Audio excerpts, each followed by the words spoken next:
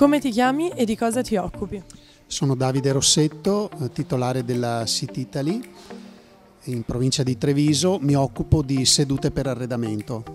È la prima volta che partecipi a B2Big Live? Sì, la prima volta. Cosa ti ha spinto a partecipare all'edizione di quest'anno?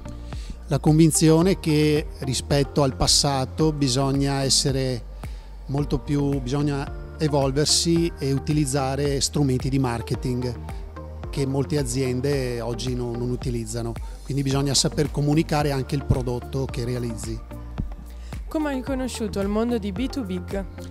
Io l'ho conosciuto tramite mio fratello che già ha a che fare con, con Ippogrifo, mi ha dato delle ottime referenze e ho visto subito eh, che mh, la vostra realtà è una realtà che bada molto alle cose concrete. Molte volte ho sentito parlare di marketing, ma molto così c'era molto fumo e poco arrosto. Mi è sembrata la vostra realtà invece molto vicina alla concretezza, ai problemi da, da risolvere.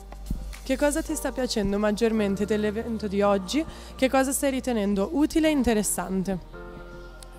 Ah, eh, diciamo, mi piace molto ehm, l'approccio schematico, quindi cercare di riassumere i concetti che comunque sono tanti. Ho apprezzato molto la testimonianza di Jack Sintini di ieri, che dimostra come anche nelle difficoltà, con la volontà e col team, se ne può uscire. Consiglieresti di partecipare a B2Big Live e se sì perché?